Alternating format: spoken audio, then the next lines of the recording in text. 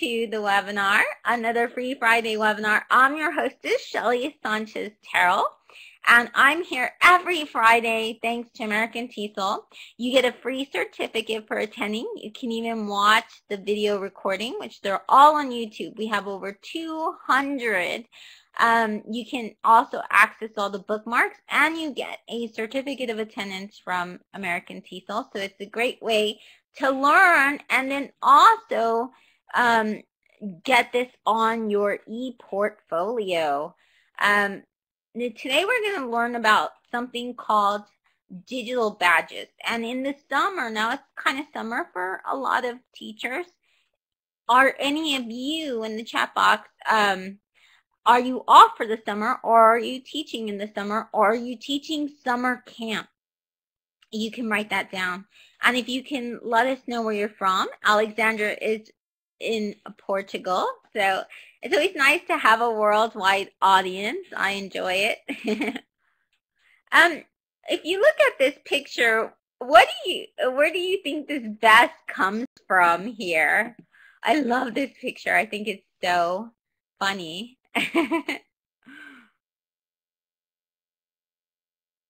Okay, I, I see Alexandra and Lori writing, so I think that they have an idea. Okay, no, no problem, Alexandra.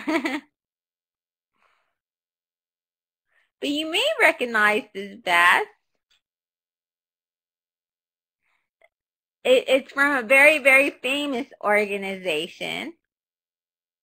Okay, from Oregon and off in the summer. It's the Girl Scout. so you can see it says Girl Scout Troopers there.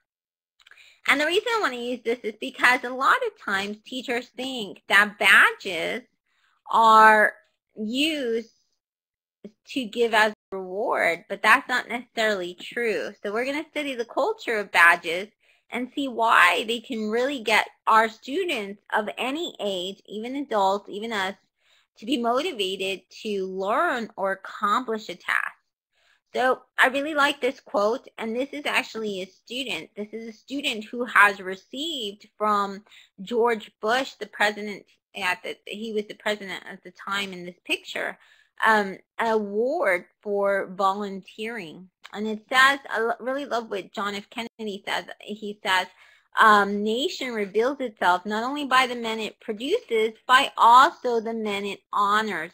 So badges, when you think of a badges, a badge is much like it has its roots within the Girl Scouts, the Boy Scouts, the Eagle Scouts, even the military, where you get all of these kind of patches or you get these emblems, um, and that's what they kind of look like. But it's a way not of just motivating or rewarding, but it's more of a celebration. So I want you to think of it that way. And celebrating is part of our culture. It is what's very motivating. Um, and it's great to be able to motivate our students and recognize them. And one of the reasons why is because our it's not rewarding them for doing things. It's saying, hey, I recognize that you are very good at this or you accomplished it. And I want to say congratulations because too many times in school, we will mark them, we'll give them like a, um, a D or a C or an F or a low a score like maybe a 60 or 70 and we'll do that easily but we don't necessarily always um, we don't celebrate different types of achievements. So badges you can use badges to celebrate different achievements. One of the first ways that I learned about badges was through my father. When I was a little girl my dad was a championship bowler and so he had many patches. Oh, my sisters and I loved his patches. And so he would get patches for a lot of different things. How many of you have gotten patches before? Um, and if you have, then where, where have you gotten a patch or maybe a pin? Maybe you've gotten something like a pin here. So within our culture, we often get pins or here at a conference, they have flair. Sometimes they call it flair. Um, and then in here in karate, they have belts. So all of these are ways of honoring. They, they're showing for here, example, that this person was in this tournament Over here, they say that this person um, actually bowled the five in the 500 series. Okay. Um, here he was the president of the bowling league. Here he got an honor award. Here he was achievement award, a league champion. So if you think of patches for now, they can symbolize a lot of different things. Here, when a teacher gets one at a conference, and a lot of conferences are using patches and um, and one more like stickers like this, you have to visit a booth. So they motivate you to go visit vendors, to go accomplish a task. I was recently in iPad Palooza, and they had to do different types of tasks to receive um, different types of badges.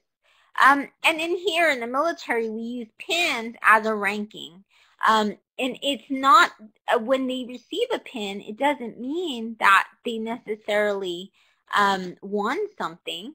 In fact, it's not a reward mostly, but what it symbolizes, and if you think of the Boy Scouts and Girl Scouts, that's where, that's one of the most famous examples of badges in real life, okay? So I want you to think of that as a metaphor for the digital badges.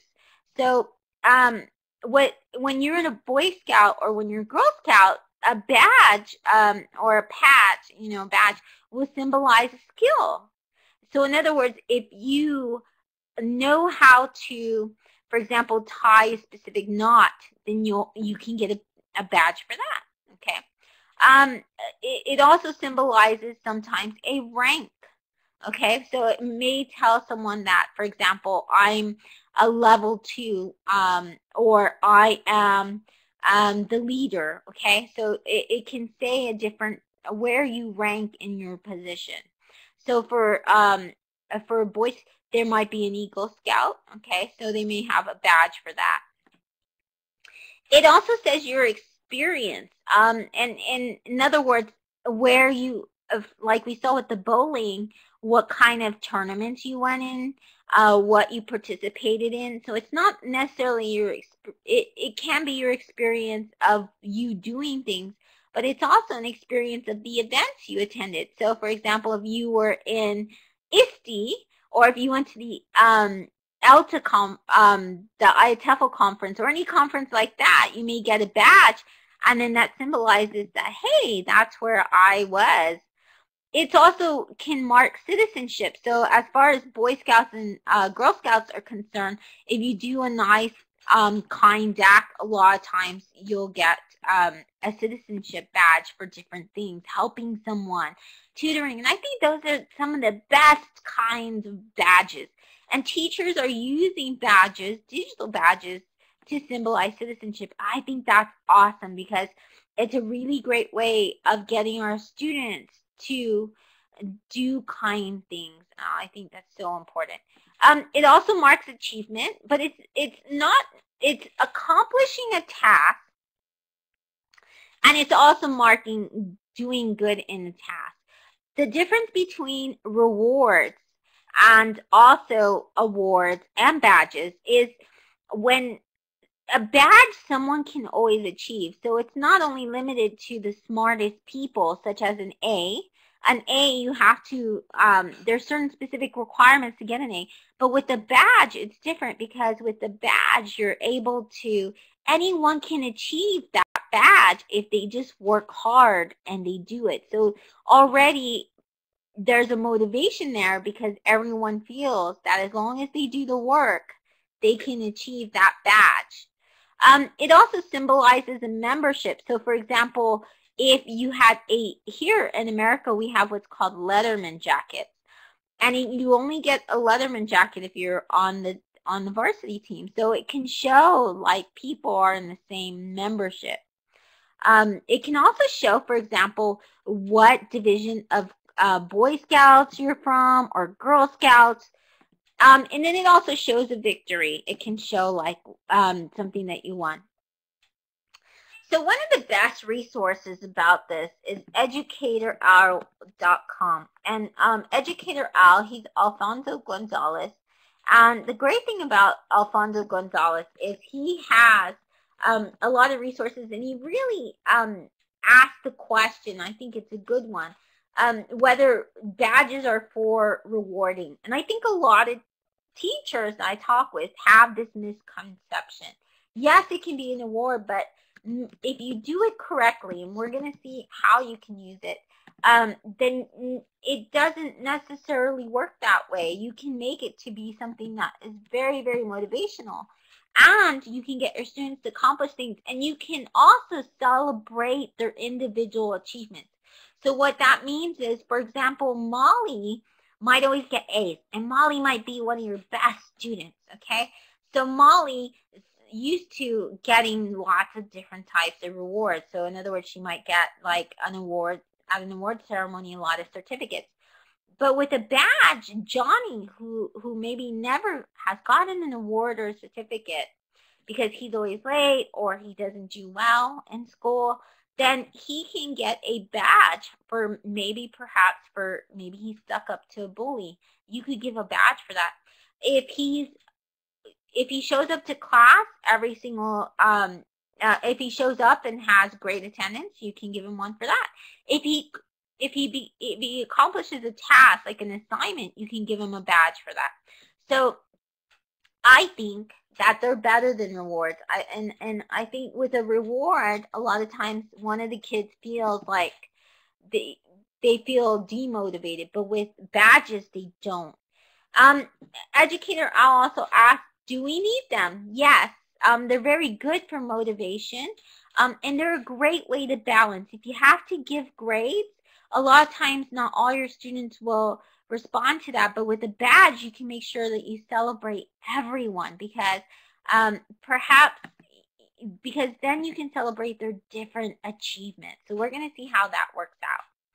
Um, and I really like what Charles Schwab says because I think in schools, a lot of times we, um, the systems are set up and not necessarily teachers, but the system grading, um, the way we give demerits. A lot of times we'll give badges for bad behavior such as demerits um, or bad marks, was, uh, you know, but we hardly ever reward when someone just puts effort. And a lot of times there's many of our students who just want us to say every once in a while, I noticed you did this and I, I think that you I think you did a great job at that. Or here, I want to celebrate that you accomplished this task. Here's a badge for it. And for a lot of students, especially like boys and um, and girls that don't ever really achieve much because a lot of times mm, teachers and also the school kind of labels them as a bad kid, once they get that, it's hard to shake it off. But with a badge, they can show, they can wear a badge proudly and say, hey, I'm really good at this. I'm really good at coding or I'm really good at, um, I'm really good at making things. I'm really creative. I can crochet or I can bowl or can play. So you can celebrate their different achievements. I think Educator Al is a great example Okay, so here's what it looks like. He uses something called 3D Game Lab. Now, 3D Game Lab was free for a while, and now all of a sudden they've decided not to be free, which is why I don't have them on here. um, but the great thing about um, this is he shows you what he gives it for, so you can see the different ways. So Educator Al, he teaches science, and he teaches, um, I believe, eighth grade science. And so what he does is he has different badges. So first he has, if they read, um, he gives the badge, it's called readiness achieved, okay? Um, and then this is what they have to do. So the condition is what they have to do to receive this badge. They have to finish one of the orientation tests. So here he gives one for blogging. Um, he gives the students one for blogging. They can get that um, they can get one for being a scientific thinker, and then they finish like scientist activities. They can be a biome expert. They can be, so you can see different ones that he has here. He also has one for a traveler, a wanderer. He has one for um, a surgeon. So in your, as your subject is, and that's the kind of badges you want. We're going to see what this looks like. What's a digital badge look like? Well, let's see first how teachers and students, because teachers use badges for the professional development. One of the ways they do it is they post it on their blogs.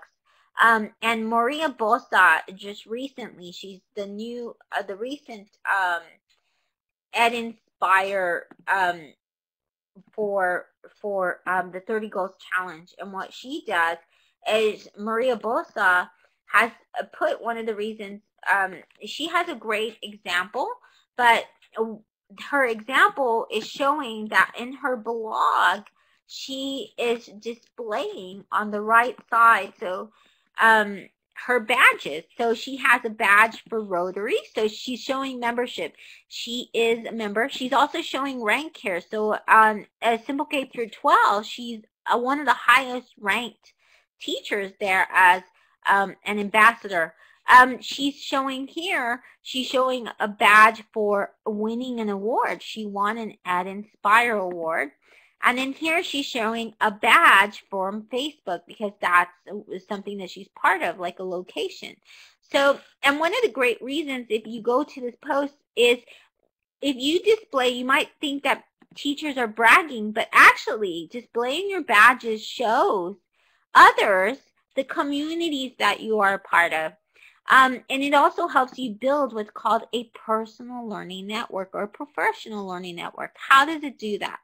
Well, I like this quote here from the Girl Scouts, and it says here, uh, Juliette Low says, badges mark a certain achievement. When one girl sees a badge, and so you can see their badges of the Girl Scouts, um, on a Sister Scout's arm, if that girl has won the same badge, it awakens an interest and sympathy between them.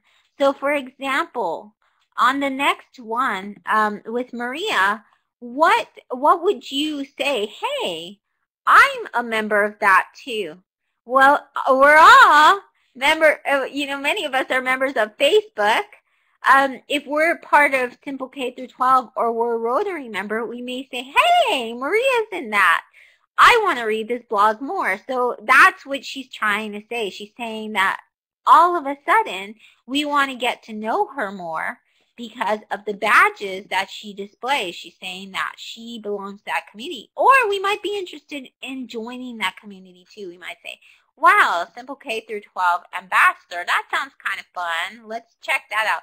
Or maybe we say, hey, Rotary, I want to go check that out. A lot of different events, not only conferences, but events. Um, and they're, so they're one way to get teachers to do things digitally. And of course, a certificate will do that as well. So for American TESOL, you win a certificate. But who knows? We might be giving badges soon.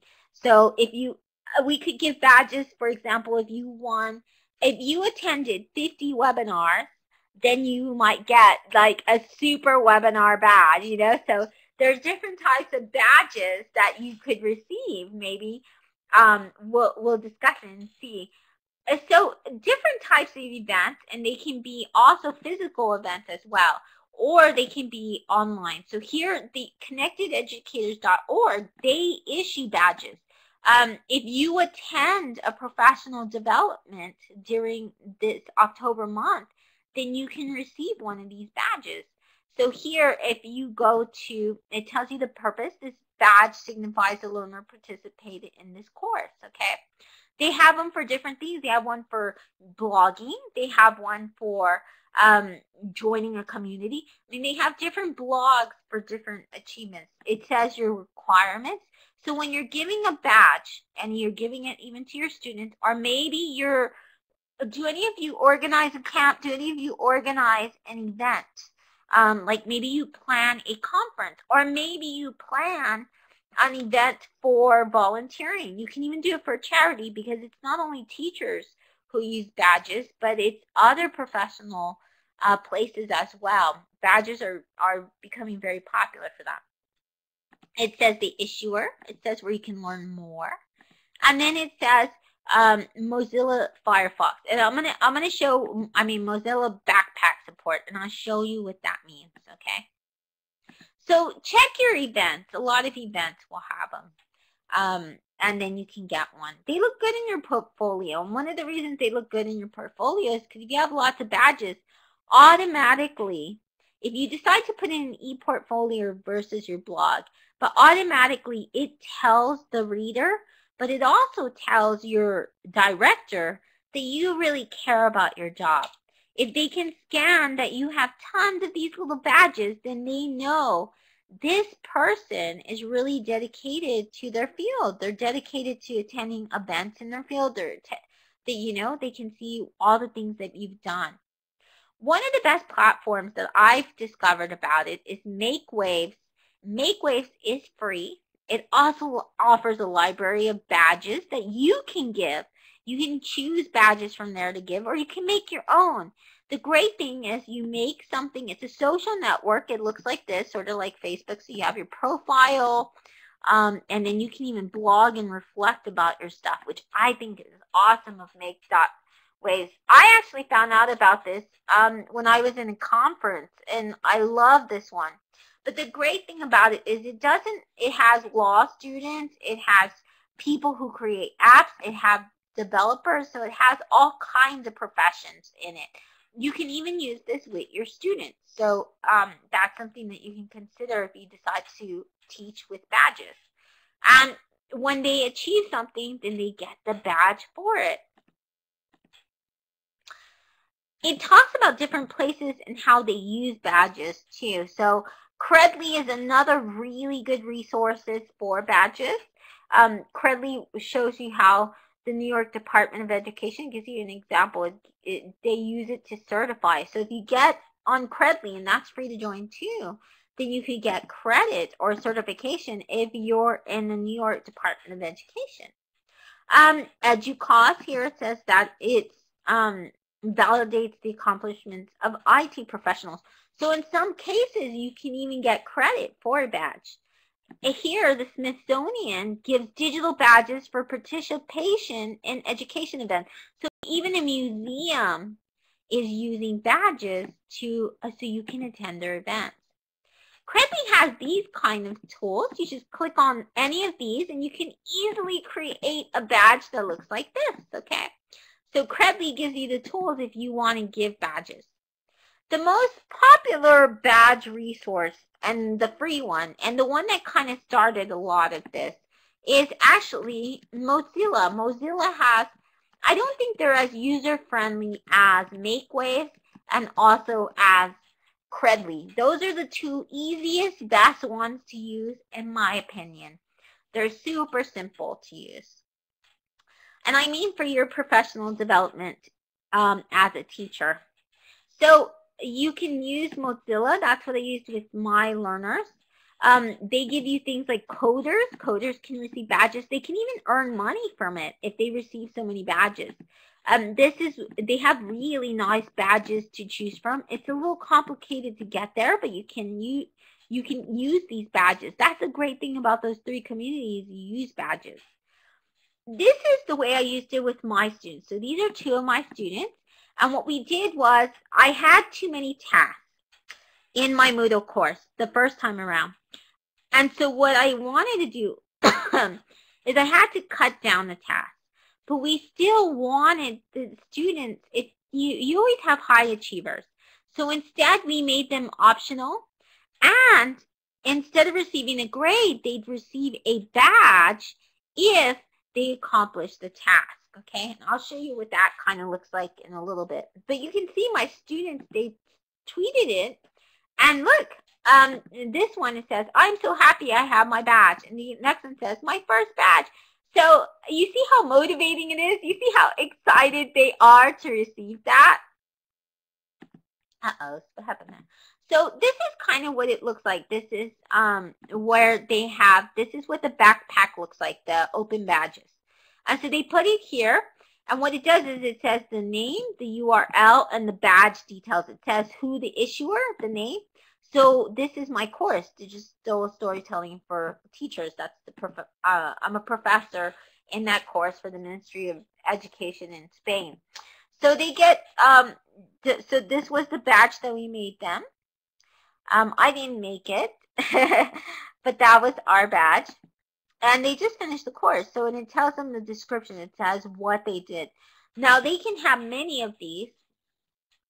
There are other platforms that also give badges for different things. One is called anestuary.com.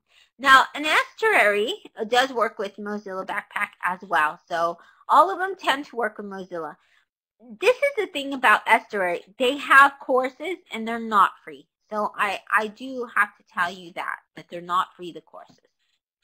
Many of the platforms, okay, let's say you want to motivate students with badges and you want them to accomplish tasks. Let's say, for example, that you want them to blog, but you don't necessarily want to grade it. Well, badge um, for accomplishing so many blogs and things, you could give badges for that. You could give badges every time they, um, for example, go above and beyond, help each other, tutor each other. So you can do citizenship badges too.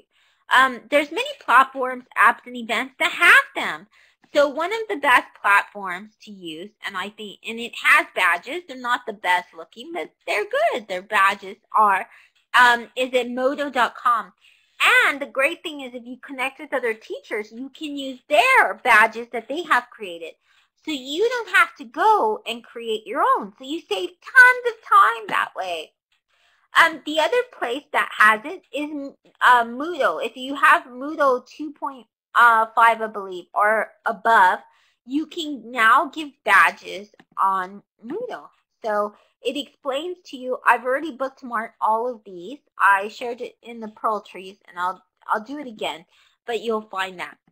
So this is what it looked like in my Moodle course. So what we did was um, we scattered them brief weekly missions. We made it into a mission.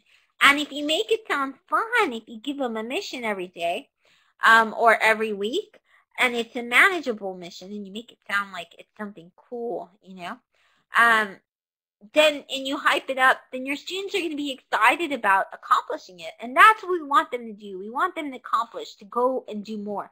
So you can get badges for when they accomplish homework as well. Um, here, so this is an idea. So for example, we created a mission. So here, the mayor is, is ridding the city of graffiti unless he's convinced it's art. So this is your student's mission. Let's say they're teens or they can even be um, in college. Um, okay, so their task, their mission is snap photos of graffiti they want to make, of they want to keep in the city and make a strong argument to the mayor of why the mayor should not take it out.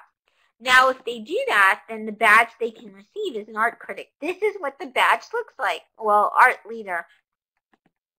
And this one I got from MakeWave. So MakeWave has a huge library of different badges that you can um, you can you can send to others.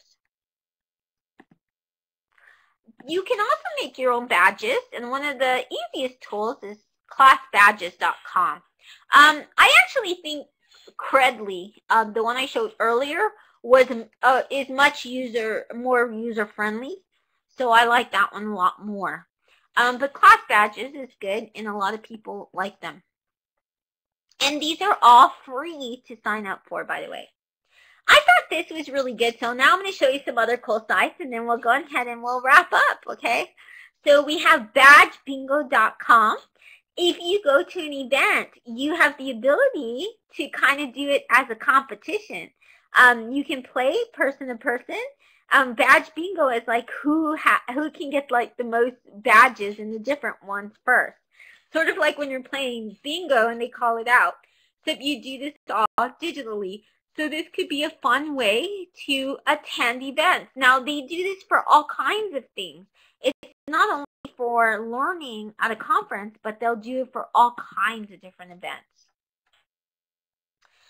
And when you're using badges, not only to accomplish a task, so yes, we want to do things. If you think about the Cub Scouts, for example, they get a badge for learning how to administer first aid. So they might get, for example, a first aid badge. Um, but the other part of it too is if they help each other. So if you want your students, um, celebrate things like this. And um, when you start giving badges, if your students know they can get a badge for being on time to your class and sitting down for one for five days and they became the then you can manage behavior that way really well.